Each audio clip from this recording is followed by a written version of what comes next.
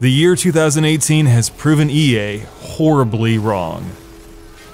In 2012, then president of Electronic Arts Frank Gibeau said these words, verbatim I have not greenlit one game to be developed as a single player experience.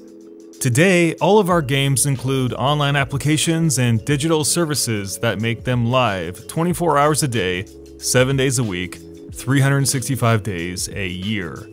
He went on to state, if you're gonna make a game, do it with an open world that's a connected experience where you can actually see other players, that you can cooperate, you can compete, and it can be social. Those iconic words would echo furiously through the years leading up to the present in our industry, where solo gaming experiences have been struggling to stay relevant in lieu of these skewed attitudes.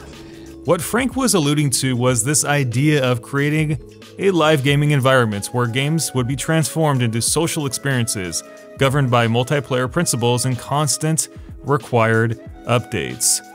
This was commonly referred to as service based gaming. You guys have probably heard that terminology. And this era was about when the idea of progressive video game development began to take root in modern gaming. Whether it was said or not, the general stance of EA was that they wanted to move all of their single player games into this realm, as they felt that the industry was moving away from isolated video game play. But was that really the case? Have we moved away from that? Well, today Sony says absolutely not, claiming that there's a huge audience for games that offer the best in single player narratives, with stunning gameplay as witnessed by the enormous popularity of both Spider Man and, of course, God of War. The statement was made by Warwick Light, Vice President of Sony in the UK, during a discussion on how the multiplayer and games as a service movement has impacted their philosophies on the single player game since 2012. It was an obvious knock to EA's stance on the matter, who has been holding the torch on the idea of turning every single player game to a live service, and even going so far as to bastardize the former. Yes, we know that EA does not like single player games and they will do everything in their power to avoid them at all costs.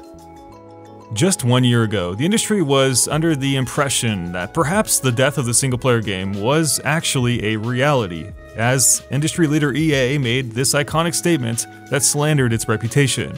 And I quote, The industry does not want single player games anymore, especially linear video games. Holy crap, that is a statement. Those grandiose yet questionably ill expressed words rocked the industry in 2017 during the cancellation of a single player Star Wars game, personally, that I was very excited about, by the way, by Visceral Entertainment. Acting Chief Financial Officer at the time, Blake Jorgensen, who later left the company, said that the project wasn't financially viable and that the reason for termination was for purely economical reasons. He later on noted that this was due to fundamental shifts in the marketplace, which was a fancy way of saying that there was more money in making a Star Wars game that was not linear and single player. And in the aftermath, they even shut down Visceral Games completely. Oh, how wrong they were, though.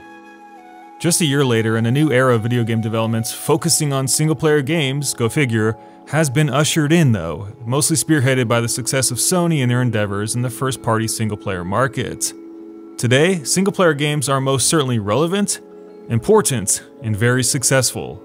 The fantastic and absolutely amazing God of War took the title of Game of the Year, and much to the confusion of EA, it was a single player game. A game that sold 5 million copies in its first month, which is astounding considering that it was being sold on a single platform, the PlayStation 4. That number now exceeds 10 million. Ah, sounding more like your da by the moment. Besides God of War, another award winning single player game this year, Spider Man, has not only proven EA wrong once again, but has also shattered records across the board too. Spider Man came out in September of this year and has become one of the fastest selling games of all time, churning out 3.3 million copies and $200 million in sales in just three days. Again, on a single system. And if that wasn't enough, Red Dead Redemption 2, launching as an exclusively single player game at launch, broke that record again, selling a mind boggling 17 million copies in less than two weeks, which is crazy. Other games like Assassin's Creed Odyssey did well too, even when they mixed up their formulas, which had the potential to alienate many long standing action stealth fans of the AC franchise. And those are just the big games. There's so many other success stories for single player games this year that it blows the mind.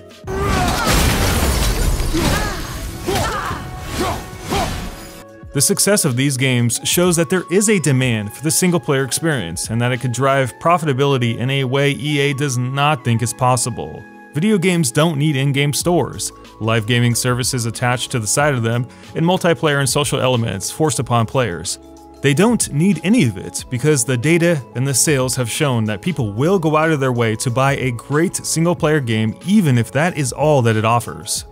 We don't need every game taken to a place of monetization and progressivity, simply because some companies out there don't trust gamers to pony up for a high quality solo gaming experience, because that's not the case. In itself, it's proof that the best of them can slash away all the hesitation from high rise video game corporations that want to put the bottom line before the construct of a high quality video game. When enterprises fail to see that the only thing they have to do is make a good video game, we all lose. Because that's when video games are at their best, when the heart and soul of a passionate company goes into it. It doesn't mean Assassin's Creed can't have a season pass or that Spider Man can't have some DLC after it launches. Of course they can.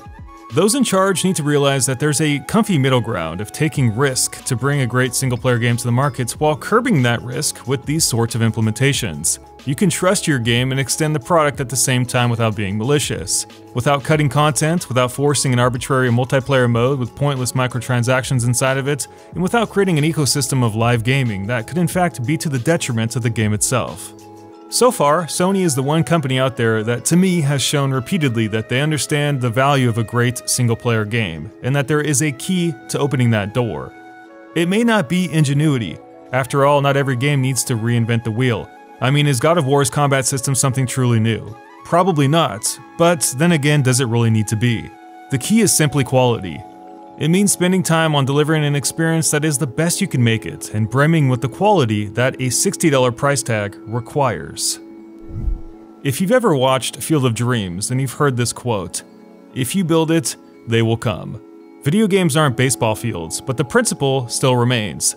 Video gamers out there will pay premium coin for the top experiences in our industry, and it doesn't matter if they're multiplayer or single player, open world or linear.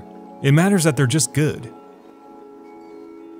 Thanks for watching guys, I really appreciate it. I would love to hear what you have to say regarding Sony's statements on single player games down below in the comment section. Have a fantastic day and we'll see you guys in our next video. Take care until then.